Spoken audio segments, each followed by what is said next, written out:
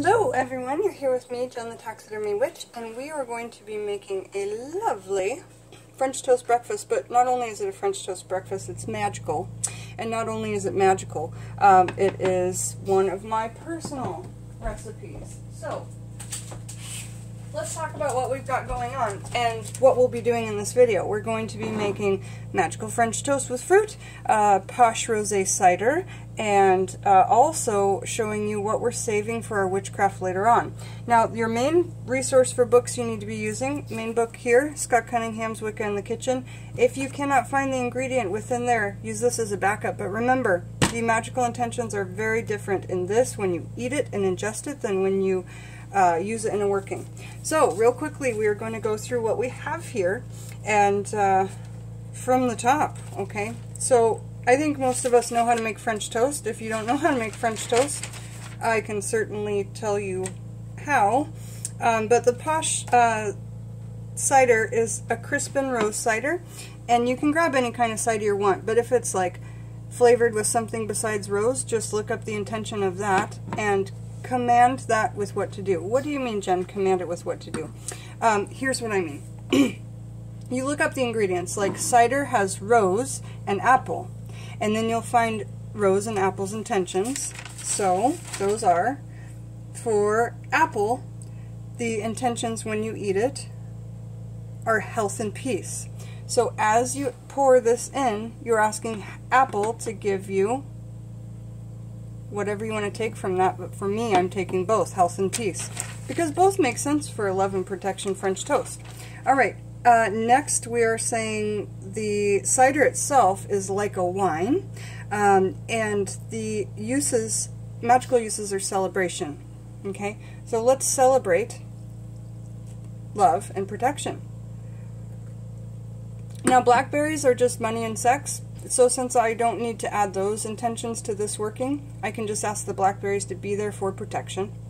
Um, or just, you know, have this protection and love energy in the working. You can always substitute. Just hold your intention over longer. Cheers. Okay, so we've got the intention of the rose, we've got the intention of the alcohol, we've got the intention of the apple, and we've got the intention of the blackberries. And what makes it posh is you know, just blackberries floating inside of that rosé. It sounds very posh to me. And you just pick your favorite magical number. If your favorite magical number is 7 instead of 3, go ahead and add those in and uh, whatever intention you have with that number. Eat the berries at the end. They're so, so fun to eat. But it's lovely when you drop them in after the cider is poured and they sparkle. And when you refill, they re-bubble. So it really does feel magical because it feels like all the carbonation and the bubbles are activating all of that stuff. Okay, so down here, I'll show it once again. We've got fruit and we've got um, French toast. So within French toast, we have butter, milk, bread, eggs, vanilla, and salt. When we add the butter, we tell butter, um, ask for protection and love just because the only intention it has is spirituality. Uh, or you can ask for spirituality if you want to, sure. But if you're really trying to focus on just protection and love, then ask for that and you would just hold your intention longer. Any ingredient can really do anything that you ask it for as long as you um, hold that intention long enough. The next one uh, ingredient is milk. Uh, the planet is moon. The element is water. And then the intent, the magical intentions are love and spirituality. So we're gonna, when we pour that milk before we beat up the eggs and milk together to dip the bread into to fry, we are going to ask for uh, the milk to be uh, charging this, working with love, love, love. Uh, next, the bread, which is wheat, um, feminine, Venus, Earth and fertility and money is the energies there. And I see love connected to fertility. So I'm going to ask that wheat for love. Okay, love. Um, the eggs, the eggs are protection, fertility, divination, many things, but I'm going to ask really the eggs to do a lot of protection. As you can see with the eggshell, which is one of the things that we keep for later on, um, I use white eggshells for negative workings, brown eggshells for positive. We've talked about that in a video I made just on the topic, brown versus white eggshells and why, um, but the way that the chickens were kept for these non-organic eggs versus the organic eggs. very sad chickens versus very happy chickens. Um, but either way, eggs will still hold protection, fertility, and divination. So vanilla Going to either add some vanilla bean if you had it, but I added a little bit of vanilla um, extract. Vanilla is feminine, Venus, water, uh, and then when we eat vanilla, it is love and sexuality. So we're asking the vanilla for love. As we're beating it into that and adding it into that um, egg mixture, we're asking that for love, okay? And uh, next we have salt. Salt, of course, is protection and it keeps evil at bay. I just do a pinch of salt into my egg mixture. Uh, next, we've got the flavoring. Okay, I use butter. We talked about butter spirituality, so I just ask for protection, and I'll ask my, you know, spirit for protection. So oranges is one of my favorite flavorings, just like orange butter and perhaps powdered sugar, but today I just went oranges and butter. Now when you add the oranges in the um, uh, in between and when you add them there, I like to squeeze the juice over it when I'm eating it, just like instead of syrup, it's the way I like to do it. Um, oranges, I will ask for, well, the planet is the sun, the element is fire. Uh, when eaten, it's love and purification. In workings, it has seven different things it does, but when eaten, it's just love and pur purification. So I'll squeeze that on there and ask for love and purification. And you know how people bless their food before they sit down and eat? That's kind of like what you're doing here. You're really taking time to bless every single part of this food. It's a really beautiful thing, I think. now the fruit, the blackberries, we talked about those over here, but if uh, we're going to talk about them here, and it's feminine Venus water, and in workings it's just money and sex. So we're just going to ask them for protection and love.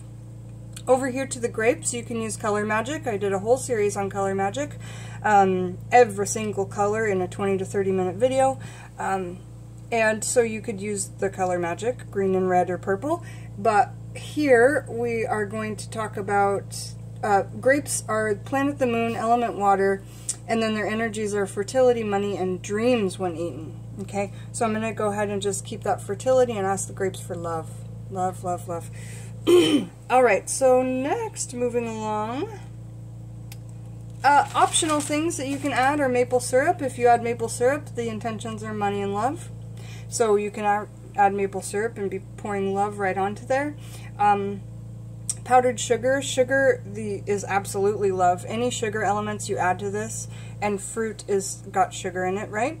So any of the sugar you can just bless for love. So since we couldn't find love in grapes, why don't we just ask the sugar in the grapes for love? Do you see what I'm saying? Any fruit could be love because all fruit has sugar. Uh, so there's that. And what are optionals? I mean, I didn't look up lemon, but sometimes people squeeze on lemon. There's a lot of different things for that, and you would just look up all those intentions in this book right here. Let's move along uh, and say that I think that this plate just looks beautiful. I've tried to film this video so many times, and it's not worked out. It's not nobody's fault but my own. I'm just in a new space and all that, and uploading videos is difficult. But I want to show you what we were able to save from this for our witchcraft workings for later on. It's excellent. Now, what I suggest you save are if you have perhaps a couple of grapes that weren't perfect or a little soft, you could put those in the dehydrator because the magical intentions of grapes when you use them later on in your workings are fertility, money, and mental powers. So you could use those in workings later on for that. Dry up your blackberries and use them for their intentions, which are when they're in workings, protection, healing, money, and sex. And then the grapevine, which I use for like gossip removal workings, or because the grapevine vine represents gossip and slander and just the way that conversation, you know, talking about other people. Okay.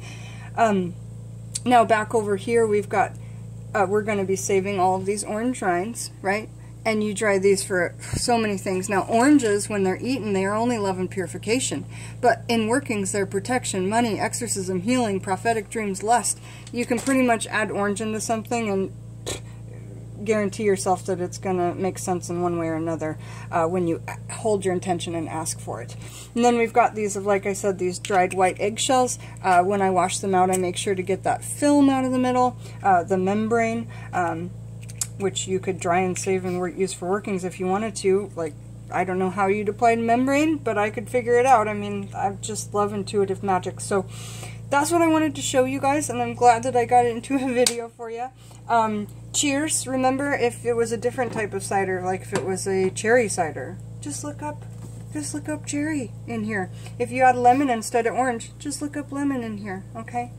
Um, and that is it. Thank you for joining me, Jen the Taxidermy Witch, while I showed you, this is what I named it, Taxidermy Witches, TTW's Love and Protection French Toast with Posh Rosé Cider. Cheers and have a beautiful day, everybody. I'll see you very soon.